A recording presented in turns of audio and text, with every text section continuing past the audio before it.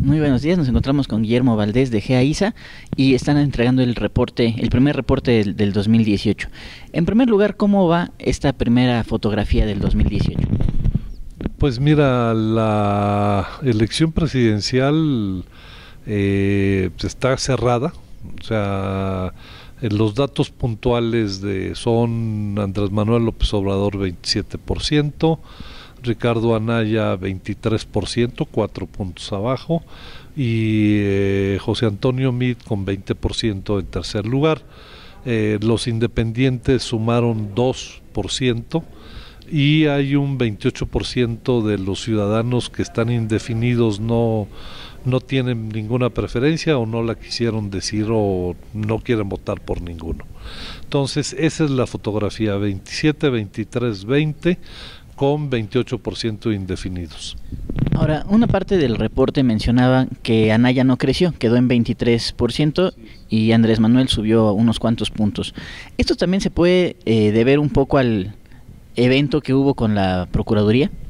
No, porque, bueno, a lo mejor lo de la Procuraduría impidió que creciera, pero también podríamos decir que no hubo una pérdida pese a las acusaciones, o sea que se mantuvo y en ese sentido si el interés del uso de la PGR para afectar a Naya no estaría siendo eficaz, no habría logrado su cometido de que desbancara a Naya para colocar a Mide en el segundo lugar, eso no ocurrió.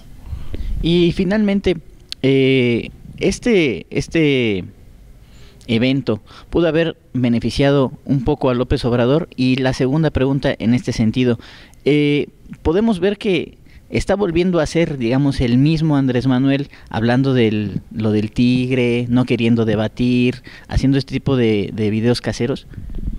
Sí, este, yo creo que el ataque de la PGR en contra de Anaya pudo haber beneficiado a López Obrador en la medida en que impidió que Anaya crezca, no porque le haya restado votos, porque no hubo eh, una menor intención de votos por Anaya, pero este pues sí frenó eventualmente eh, un crecimiento.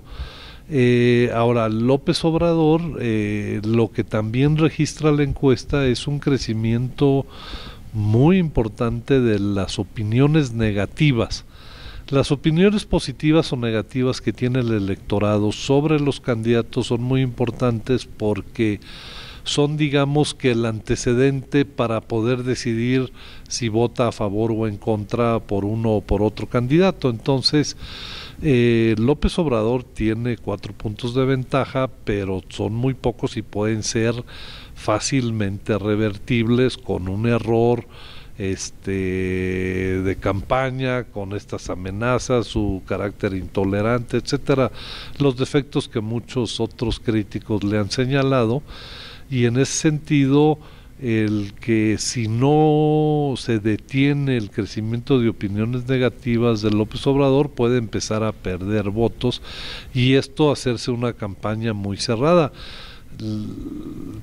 No sería descartable el que hubiera un escenario como el de 2006 de una de una contienda muy pareja y que se puede definir por muy poquitos votos.